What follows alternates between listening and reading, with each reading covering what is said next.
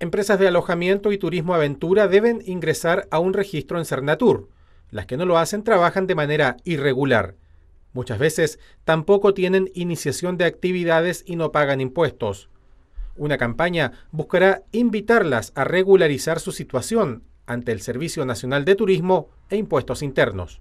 Nosotros estamos dispuestos a dar la información y en nuestros planes de fiscalización vamos a incluir también el apoyo a todas sus actividades y a entregarles conocimientos para que puedan desarrollar su actividad cumpliendo con la ley tributaria. El Servicio de Impuestos Internos ayudará a quienes no han iniciado actividades a superar esa situación. Solo entonces se podrán inscribir en el registro de servicios de turismo. Nosotros en Magallanes tenemos un total de 1.431 registrados.